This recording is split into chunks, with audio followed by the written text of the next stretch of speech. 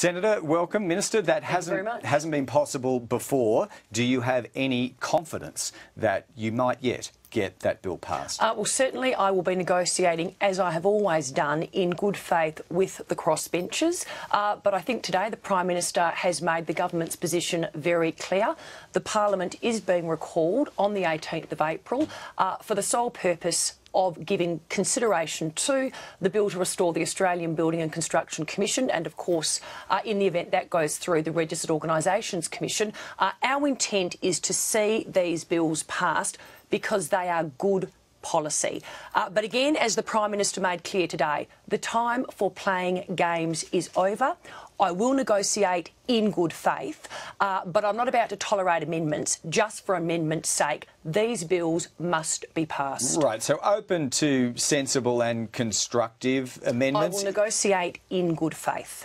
And uh, apart from their own political mortality, when you're sitting across the table from these senators, what other form of persuasion do you bring that you haven't been able to bring to bear before? Well, for us, this is an important economic reform um, and sits very nicely with the government's economic agenda. I mean, this, the building and construction industry is the third largest employer in Australia. Uh, the sector employs in excess of a million Australians through the thousands of small businesses. So when you're talking about growing Australia, increasing productivity, but at the end of the day, creating more jobs for Australians. Uh, you cannot have a sector that for decades now has shown uh, it willfully and quite deliberately uh, does not comply with workplace law. So we're here to clean up the sector, uh, but at the end of the day, in cleaning up the sector, to ensure that we grow the sector and ultimately contribute to more jobs for Australians. All right.